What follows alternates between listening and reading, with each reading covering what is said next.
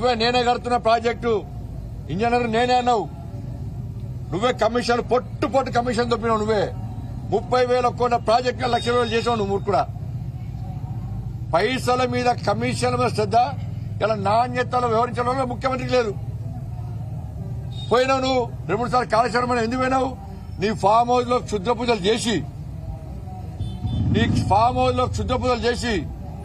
ఇతరుల నాశనాన్ని కోరుకొని ఆ ద్రవ్యాలు కలపడానికి మాత్రమే కాళేశ్వరం పోయినావు తప్ప కాళేశ్వరంలో నాణ్యమైనటువంటి పనులు జరుగుతున్న ఎక్కువ రోజులను కనీసం పరిశీలించాలి.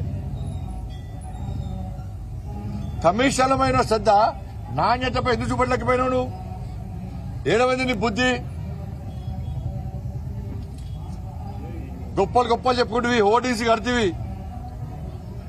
కనీసము అంత పెద్ద ప్రాజెక్టు కట్టినటువంటి రాష్ట్ర ప్రభుత్వం ఇన్ని సంవత్సరాలుగా ఏ ఒక్క రాజకీయ నాయకుడిని కనీసం పరిశీలించే అవకాశం ఇవ్వలేదు ఇన్ని సంవత్సరాలుగా. ఓ భారీ కేసు కట్టిపడేసిరది ఏదో వేరే దేశంలో పాకిస్తాన్లో బంగ్లాదేశ్లో కాళేశ్వరం ప్రాజెక్టు ఉన్నట్టు వివరించిన రోజు ఎందుకు భయం ఎందుకు? నాయకులు రాజకీయ పార్టీ నాయకులు పోయి చూస్తే నీకు ఉన్న భయం ఏంది? అని నాకు తెలుసు నీకు. క్వాలిటీ లేదు. ఇది ఆగది. నేను ఎట్లా రాను మళ్ళా? మళ్ళా బిల్లా బిస్తర్ అనుకోండి నేను నా కుటుంబం విదేశాలు పారిపోతాం. ఇక్కడ నాకు వచ్చేది పీకేది నన్ను ఇవ్వడేం పీకడు. ఇవ్వలేని చేయరని చెప్పి ఒక ధీమా నిలబడి వచ్చింది. నువ్వు మళ్ళా రావు అని చెప్పి ఆలోచన నీకు వచ్చింది. కాబట్టి నువ్వు పైసలు చంపడం పైసలు చంపడానికే నువ్వు శ్రద్ధ పెట్టావు ఇవాళ. కాబట్టి ఈ నష్టం రాష్ట్ర ముఖ్యమంత్రి రికవరీ చేయాలి. ఇది మామూలు నష్టం కాదు ఇది. రాష్ట్ర ముఖ్యమంత్రి రికవరీ చేయాలి.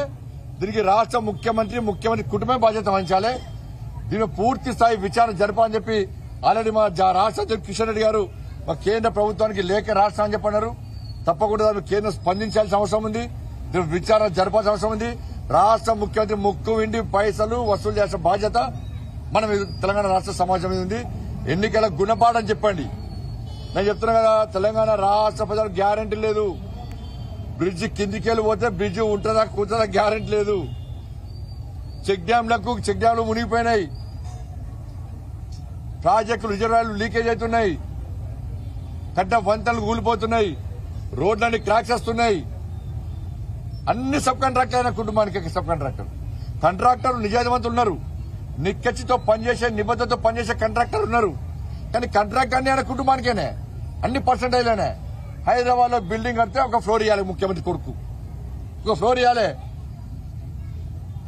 నలభై ఫ్లోర్లు కట్టుకోను. యాభై ఫ్లోర్లు కట్టుకో. నువ్వు వంద కట్టుకో. వితౌట్ పర్మిషన్ పర్మిషన్ నీ ఇష్టం.